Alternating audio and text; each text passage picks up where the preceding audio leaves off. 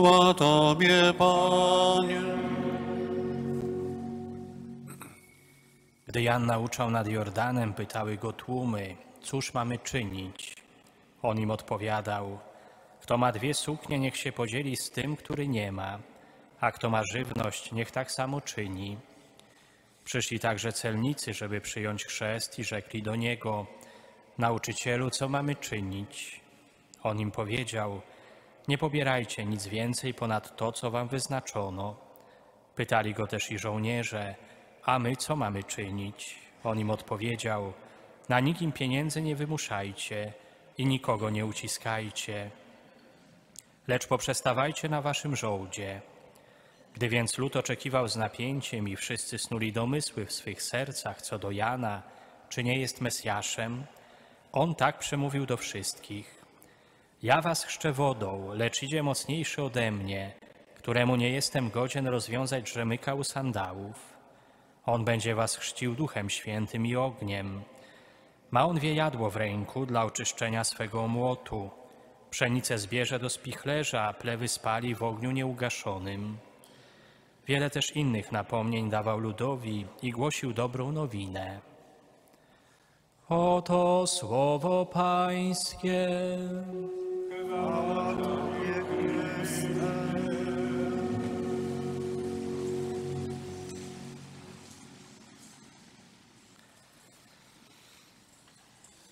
Nasze zbliżanie się do Pana Boga i nasze od Niego oddalanie się dzieje się w sercu człowieka, w jego sumieniu, w jego rozumie. To właśnie tam dzieją się rzeczy, które sprawiają, że podejmujemy takie, a nie inne decyzje. I tak już jest, że właściwie człowiek od zawsze potrzebował pomocy z zewnątrz, żeby jego wiara nie wyschła, żeby jego relacja do Pana Boga nie skończyła się jakąś duchową porażką z winy człowieka. W III wieku chrześcijaństwa na terenach dzisiejszej Syrii, Palestyny rozpoczęło się życie pustelnicze. Niektórzy ludzie, szukając większej doskonałości, bliskości Pana Boga, opuszczali wielkie miejskie skupiska i szukali życia w ciszy, życia samotnego, stając się dla lokalnych społeczności, można powiedzieć, autorytetami. I kiedy inni mieli problemy w wierze, kiedy nie potrafili sobie poradzić z trudnymi momentami w ich życiu, szli do ojców pustyni, aby ich pytać o radę. Z tamtych czasów mamy wiele aforyzmów, mądrościowych opowiadań. Jest też opowiadanie o pewnym mnichu, który czerpał wodę ze studni. Przyszedł do niego mężczyzna i zadał mu pytanie: Ojcze, co ci daje życie w ciszy? Dlaczego opuściłeś miasto, w którym żyłeś i teraz żyjesz tutaj na tym pustkowiu sam, bez nikogo? Akurat pustelnik wyciągał wiadro ze studni i mówi: Zobacz do środka, do tej studni, co widzisz? Mężczyzna odpowiada: Nic nie widzę, woda jest zmącona, tafla wody jest niespokojna.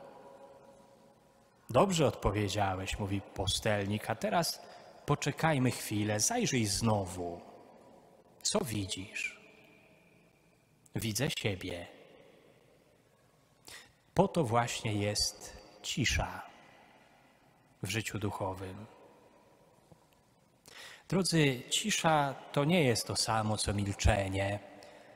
Wiele osób chce rekolekcje przeżywać w taki sposób, że wyjeżdżają do jakiegoś klasztoru i przez kilka dni zawieszają wszelkie rozmowy, wszelkie kontakty. Są to tak zwane rekolekcje w milczeniu.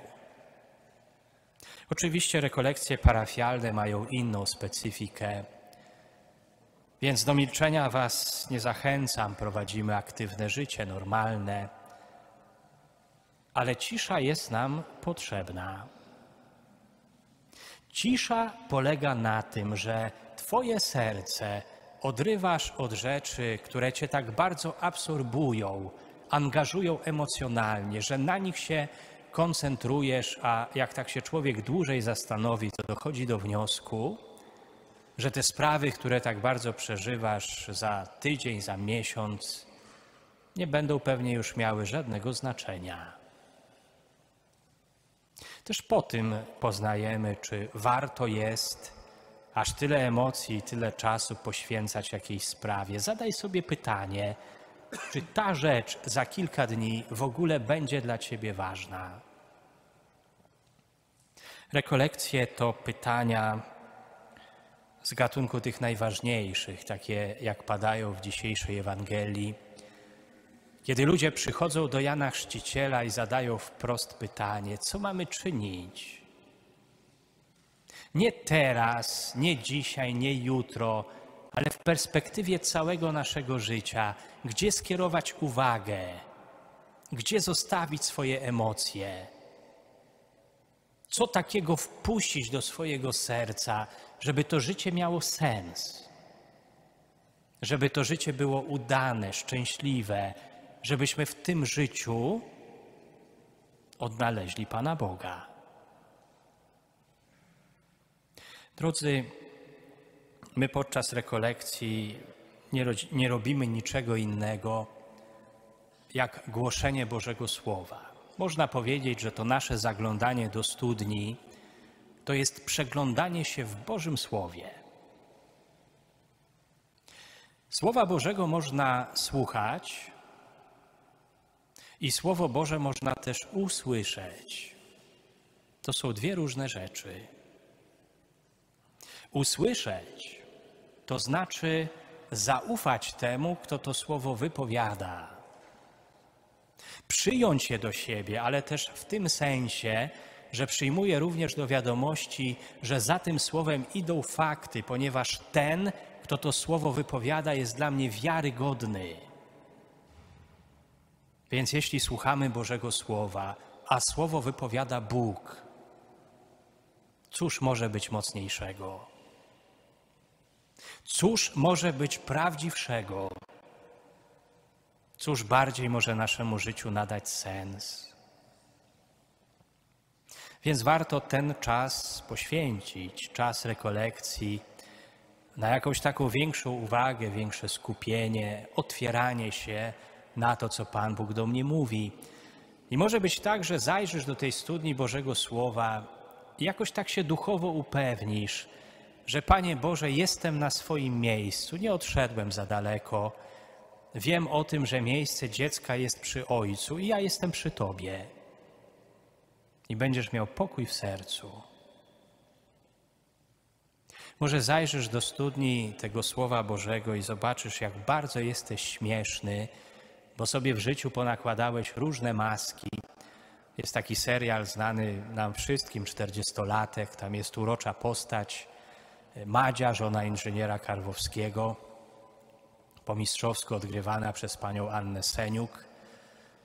I ta Madzia, ona zawsze w towarzystwie musi uchodzić za inteligentniejszą niż jest w rzeczywistości. Bardziej y, elokwentną niż jest w rzeczywistości.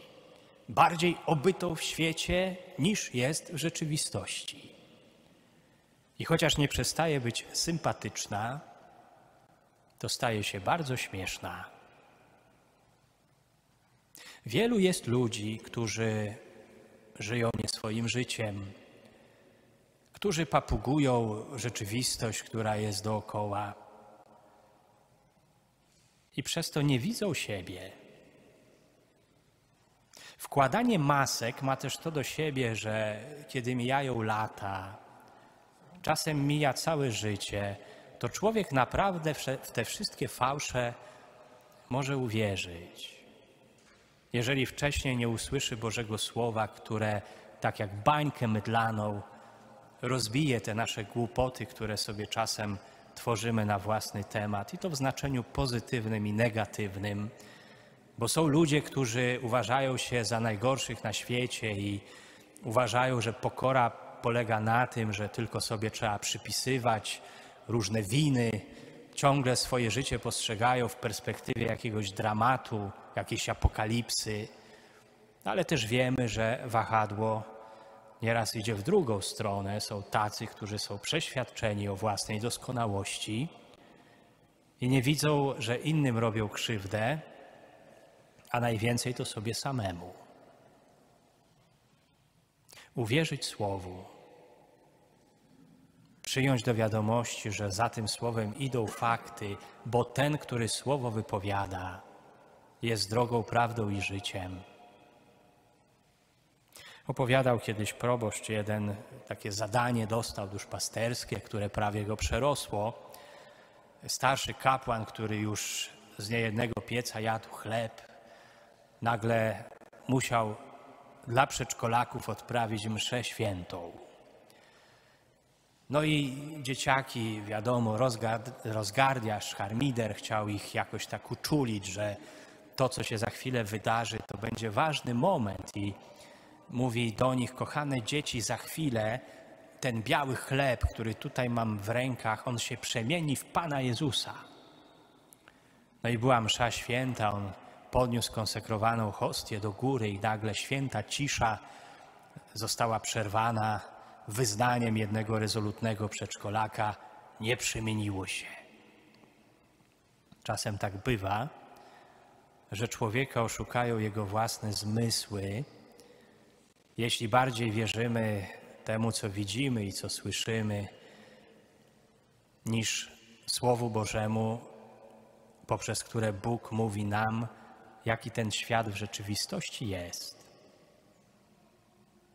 Możemy patrzeć i nic nie zobaczyć, możemy słyszeć i nic nie usłyszeć. Bo my, jako ludzie wiary, potrzebujemy Bożego Słowa, żeby widzieć i słyszeć naprawdę. Drodzy, podam przykład. Pan Jezus mówi: Kto spożywa moje ciało, pije moją krew, ma życie wieczne. W 2014 roku Kościół zmienił przykazania kościelne, zmienił ich brzmienie, nie tyle same przykazania, co ich sformułowanie. I jedno z przykazań brzmi tak: W niedzielę i święta nakazane uczestniczyć we mszy świętej i powstrzymać się od prac niekoniecznych. Kościół te słowa powtarza za Jezusem.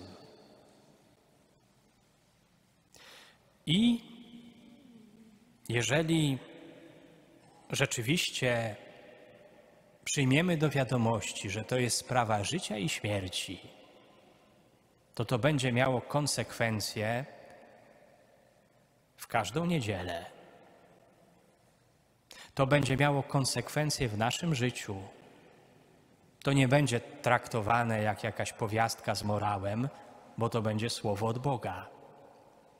Jeden ksiądz opowiadał, Mówi, kiedyś byłem na pielgrzymce z taką panią, już nawet mi się zatarła gdzieś tam w pamięci, ale wymieniliśmy się numerami telefonu i ona kiedyś dzwoni do mnie, przypomniała mi się i mówi, proszę księdza, mam taki trudny moment w życiu, bo jest choroba nowotworowa, zdiagnozowano u mnie raka i trudne leczenie.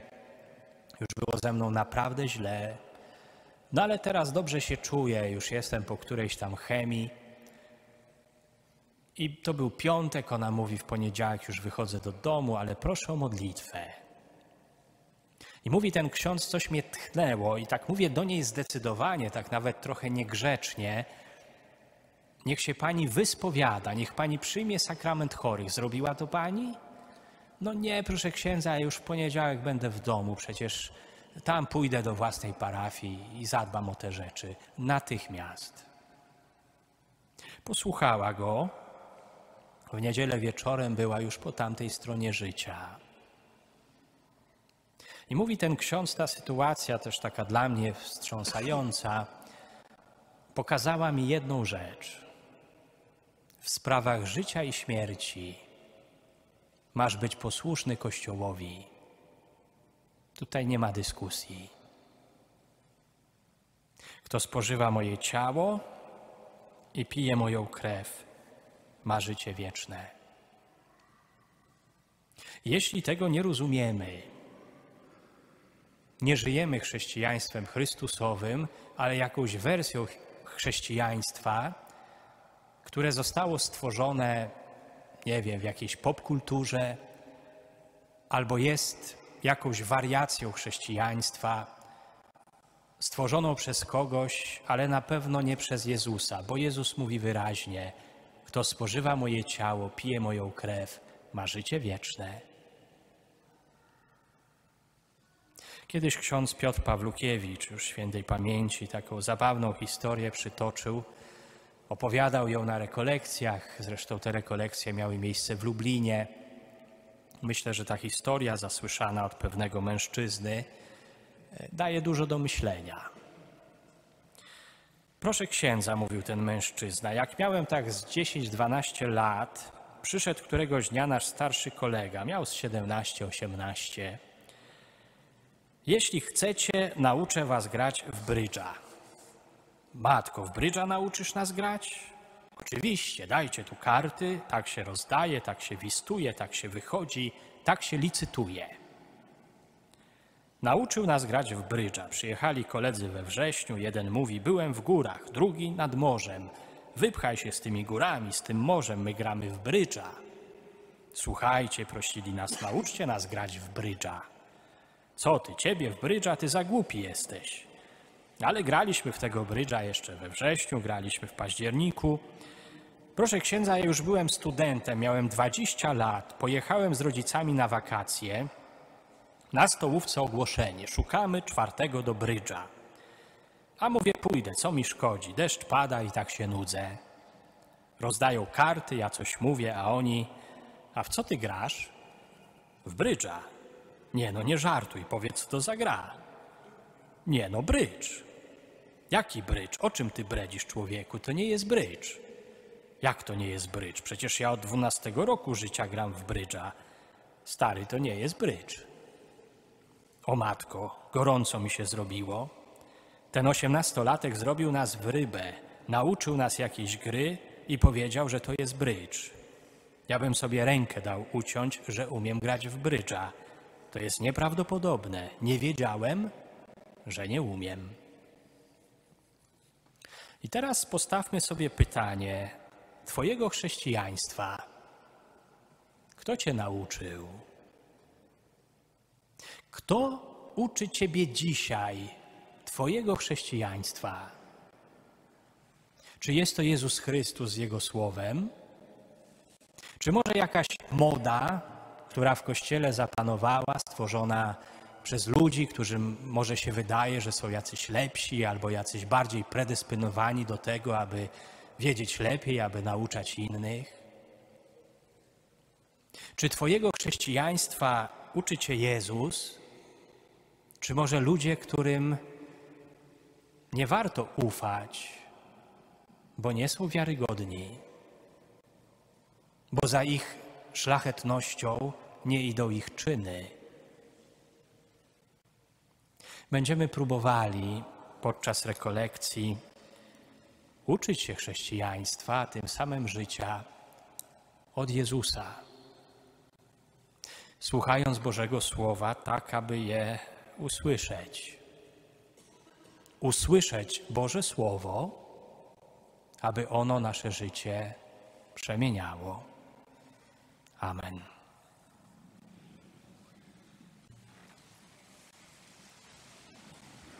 Złóżmy wyznanie naszej wiary.